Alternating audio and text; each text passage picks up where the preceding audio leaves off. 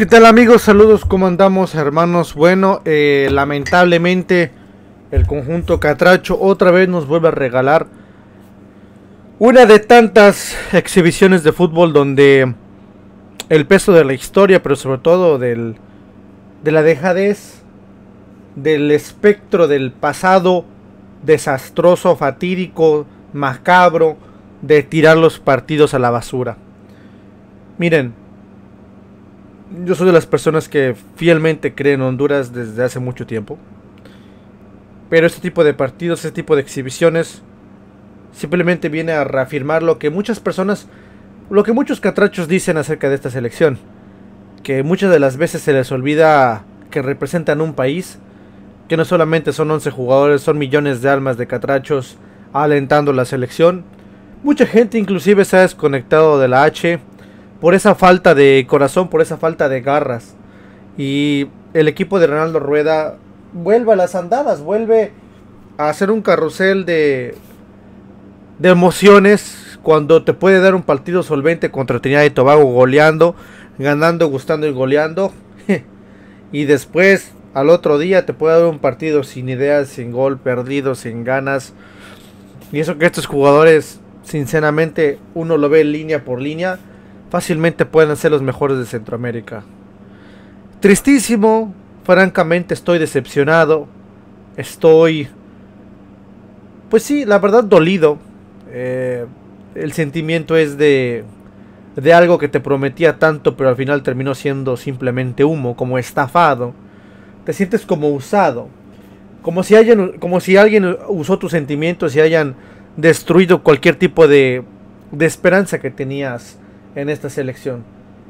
Claramente queda demostrado que el problema no es el técnico. Pudo venir Rueda, el Bolillo Gómez, Diego Vázquez, Coito, Pinto. El problema no es el técnico.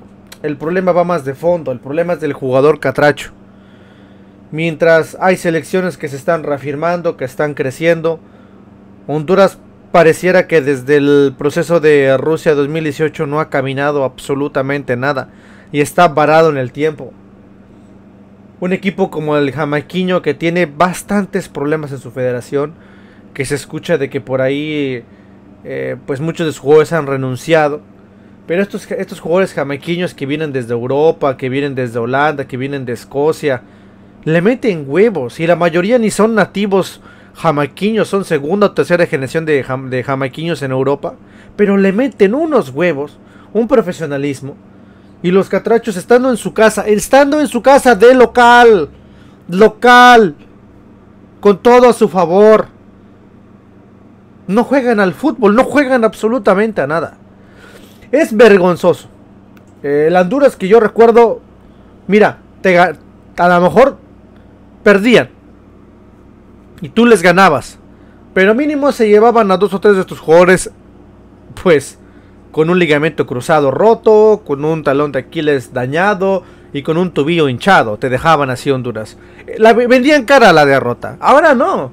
Ahora cualquier selección se puede meter a San Pedro Sula, se puede meter allá a Tegucigalpa, se puede meter al Morazán, se puede meter a donde quiera de, del país catracho y fácilmente sacas tres puntos. Es Walt Disney. Es Walt Disney literalmente Honduras. Antes, repito, para que tú sacaras tres puntos de ahí. Dios mío, Dios te bendiga. Antes era la posiblemente la peor, la peor aduana de CONCACAF para sacar puntos. Ahora no, ahora repito, todo el mundo se mofa de Honduras. ¿Qué está pasando? ¿Qué carajo está pasando, señores? ¿Qué le pasó al H? ¿Dónde quedó ese poder?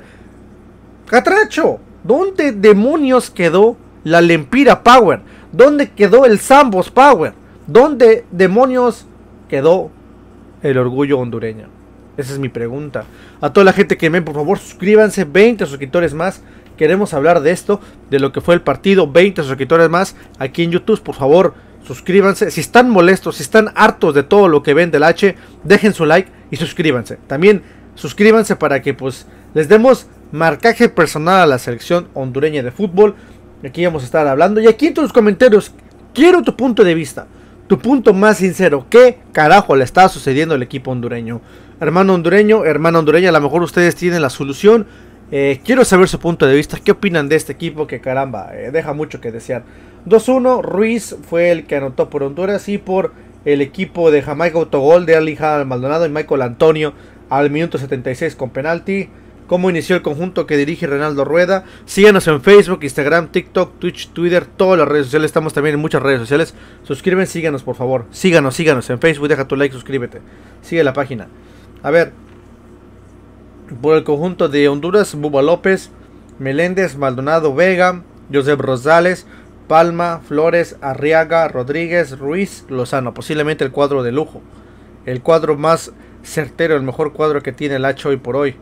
Eh, por parte de los cambios, entró Martínez, eh, Almen, Almendarés, Ryan Roches, fueron los, los jugadores que entraron de cambio por parte del profe Rueda.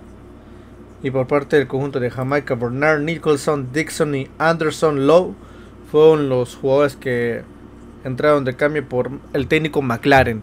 A ver, eh, Honduras se enfrentaba a un rival fuerte. Aquí lo habíamos dicho en el en la previa, en los videos, en los pasados, que iba a ser un rival complicado, pero Honduras tenía todo a su favor para ganar todo.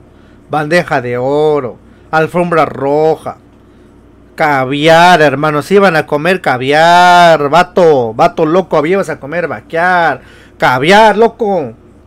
Pero se cayó. Eh, Honduras chocó con una realidad muy macabra, repetimos. Ánimo, estado de ánimo, eh, amor a la camiseta. Yo no veía eso de los jugadores hondureños. Parecía que no les importara si estaban jugando eh, en un estadio lleno cuando todo más que una nación los apoyaba. Dejadez, desconexión. Y estaban de local. Bueno, de visita te lo compro. De visita tal vez dices, bueno, no pasa nada, es de visita, pero de local, ¿qué excusa me van a dar?